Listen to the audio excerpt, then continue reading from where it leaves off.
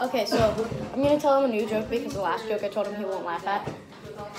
Most of you would probably not get it. Um, so there's a bouncer at a bar, and you know they like stop fights and they have to be really tough. There's this big bouncer sitting at the bar, okay? And this really small dude, his voice is really high, and he goes up to the big dude and goes, "I wanna get the manager. I want a job." And the bouncer goes, "What job do you want?" He goes, "I wanna be a bouncer."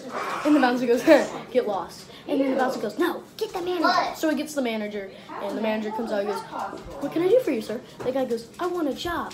And and the manager goes, "What job do you want?" And the bouncer, well, the bouncer says he wants to be a bouncer.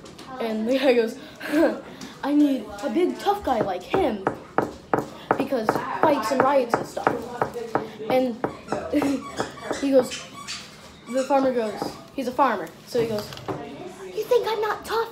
I work all day at the farm and stuff like that." And then he goes, I went by the wood. Here's how tough I am. I went by a wood chipper that was on, and it caught the fabric of my arm and ripped it clean off.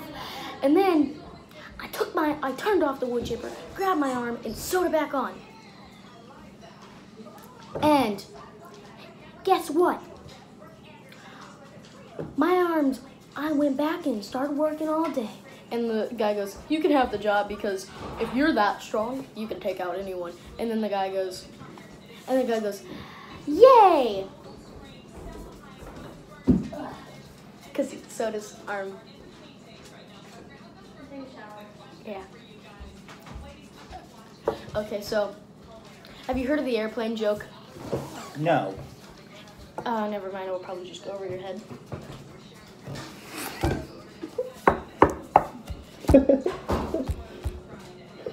Yeah. Yeah. So I sent that to a text to someone, and they responded with, "No, try me. I'm pretty smart." I. Yeah, like I did. Okay, so this is this is one told by my choir teacher. Um, he goes, "How many choir directors does it take to screw in a light bulb?" Everyone tried to answer one, and everyone went. And the choir director goes, well, no one knows because no one ever looks at the choir director. Yeah. Okay, here's one that he told at the beginning of the school year. He goes, Okay, so I died and I went to the Hades place, the underworld, right?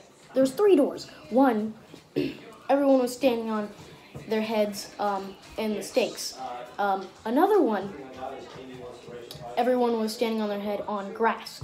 And then another one, everyone was standing in counter, drinking coffee, and singing. And the guy goes, I like singing, so I'm gonna choose this one. And the devil goes, okay.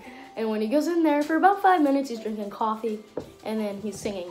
And then this big loud speaker goes, "Er," and everyone goes, coffee breaks over.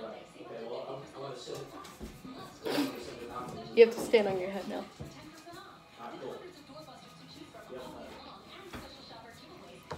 Let us review what we have learned today.